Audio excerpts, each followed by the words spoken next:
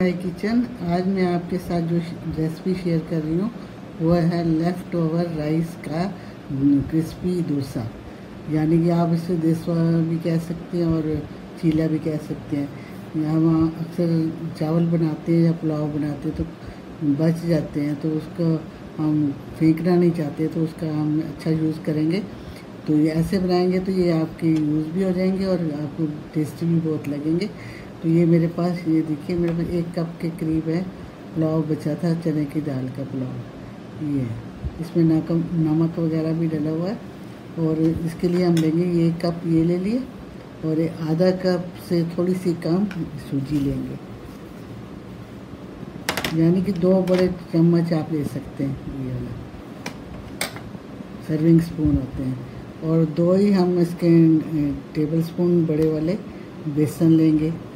और आधा कप हम दही लेंगे और एक टेबल स्पून हम गेहूँ का आटा, अगर हमें लगे कि थोड़ा ढीला तो हम गेहूँ का आटा भी डाल सकते हैं। इससे बाइंडिंग आएगी, इससे सूजी से क्रिस्पीनेस आएगा। तो सबसे पहले हम क्या करेंगे, एक मिक्सर जार ले लिया हम इसमें। ये जो हमारे पास लेफ़्ट और राइस पुलाव बचा हुआ, वो हम डाल देते हैं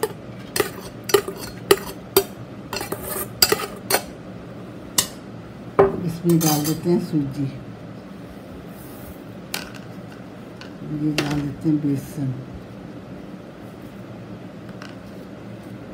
ये थोड़ा सा अदरक और हरी मिर्च है। ये बड़ी भी कटी ये भी इसमें डाल देते हैं। और हम एक चम्मच इसमें गेहूँ का आटा मिला देते हैं। अगर आप ना मिलाना चाहें तो सूजी एक चम्मच और डाल सकते हैं। इसमें और ये हमारे पास आधा कप दही है, ये भी डाल देते हैं। अगर हमें लगे ये टाइट हो गया या गाढ़ा हो गया तो हम इसमें पानी मिक्स कर सकते हैं।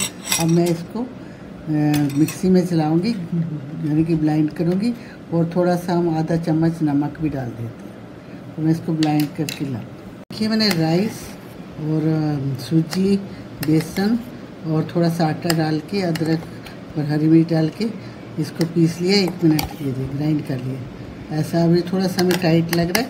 तो हम इसमें एक चम्मच या एक कच्ची भर के पानी डालेंगे।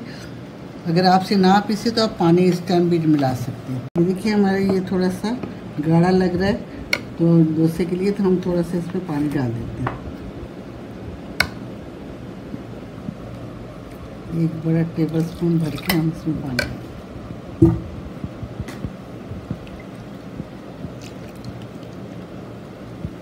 देखिए, मेरे डोसे का बैटर बनकर तैयार हो गया। अब हम इसको बनाना शुरू करते हैं। ये देखिए, बिल्कुल जैसे डोसे आता है। ये मेरे पुलाव था, इसलिए कलर ऐसा है। अगर आपके पास उबले प्लेन चावल होंगे, जब वाइट होंगे तो वो आपको वाइट दिखेगा। बैटर ये देखिए।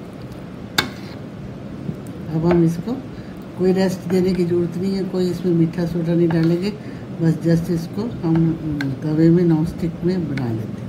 देखिए हमने तवा रख दिया गर्म होने को और गैस को हमने सिम पे कर दिया। पहले हमने थोड़ा सा गर्म कर लेना और तो सिम पे कर लेना जैसे हम डोसे में थोड़ा सा तेल डालते हैं पहले, उसी तरह। हम एक किस्म से चीला ही बोल सकते हैं इसको। और ये थोड़ा सा पानी इसको पहुँचती है पानी से। इसको अब आप चाहें कितना भी साइज़ छोटा, बड़ा, कुछ भी चीज़ इसका रख सकते हैं। तो मैं थोड़े से मीडियम साइज़ के ही बनाऊँगी। तो जैसे हम डोसा या चीला चलाते हैं सेम वैसे हम इसको आज अभी हम धीमी रखेंगे, बिल्कुल।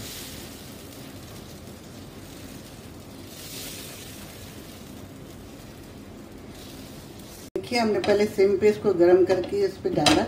अब हमने थोड़ी सी गैस को सिम से थोड़ा सा ज़्यादा बढ़ा दिए तो अब ये देखिए, अब इसमें आपको पता चलना शुरू हो जाएगा, ये पकने शुरू हो गए। तो हम क्या करेंगे, इसमें थोड़ा सा तेल साइडों में लगा देंगे। और इसको धीरे धीरे ये देखिए। ये देखिए करना शुरू हो जाएगा। तो हमने आटा और बेसन डाला जिससे बाइंडिंग हो जाती है। बड़ी इजीली आपको ये अभी हम इसको थोड़ा सा लाल होने देते हैं, फिर मैं आपको बताती हूँ इसको। हमारा ये नीचे से सीख गया तो अब हम इसको पलट देते हैं। ये आप देख सकते हैं, कितना अच्छा बना है। फिर हमने आँच इसको सिम पे कर दिए।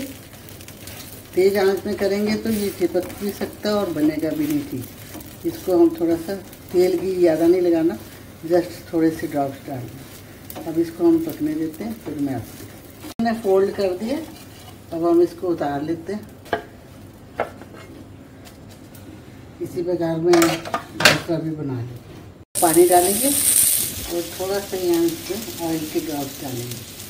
गैस को हमने सिम पे ही रखा हुआ अब हम इसमें ये अपना बैटर डाल देंगे। अगर बनाते टाइम आपको लगे थोड़ा गाढ़ा है तो आप इसको पतला भी कर सकते हैं, पानी डाल के। अगर ढीला हो जाए तो आप बेसन या आटा मिक्स कर सकते हैं इसको इसको एकदम हिलाना नहीं है। बस एक मिनट इसको पकड़े दें नीचे से, सिम पे, फिर इसको आप करते हैं। ये देखिए, अब इसको हम पकने देते हैं। मिनट हमने इसको पका लिया है सिम पे। अब हम थोड़ा सा इसमें तेल डालेंगे साइडों पे। और थोड़ा सा ऊपर डालेंगे तो थोड़ी सी गैस को तेज करेंगे ये देखिए, अपने आप उठना शुरू हो जाता है। अगर ठीक पक जाए इसको भी हम थर्टी सेकेंड तक और पकाते हैं, फिर इसको टर्न ओवर करेंगे। हमने इसको पलट दिया। अब इसको भी हम सेक लेते हैं। आप इसको चटनी से, आलू की सूखी सब्ज़ी से, किसी के साथ भी सर्व कर सकते हैं। या टमाटो केचप वगैरह के साथ भी इसको सर्व कर सकते हैं।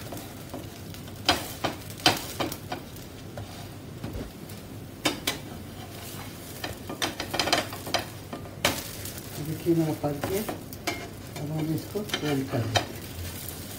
केला बनाने में थोड़ी सी मुश्किल होती है, फिर अपने आप बन जाते हैं अच्छे। अब हमारा हॉट हो जाता है, ये देखिए बन के तैयार हो जाए अब मैं दूसरा बना लेती हूँ। हमारे ये चीले बनकर तैयार हैं लेफ़्ट और राइस के, और ये बड़े डिलीशियस और बड़े टेस्टी होंगे।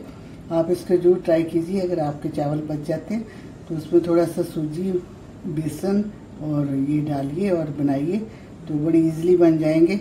ये चीला है किस्म से, डोसा नहीं कह सकते, चीला तो है, लेकिन ये जो डोसे में हम मसाला आलू डालते हैं, उसके साथ सर्व कर रही हूँ, आप चटनी से भी कर सकते हैं और टमाटो सॉस के साथ भी कर सकते हैं। तो बनाइए, खाइए। अगर मेरी रेसिपी पसंद आती है तो प्लीज़ मेरे चैनल को लाइक और सब्सक्राइब कीजिए।